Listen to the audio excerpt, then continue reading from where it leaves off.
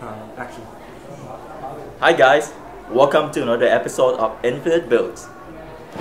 It's been a year since the last video and I'm so excited to show you my next creations. In this episode, I'm partnering up with Mini Cat Town at Stoneridge Mall to do a fence build.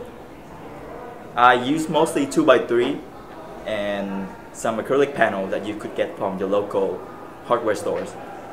Now let's go and check it out.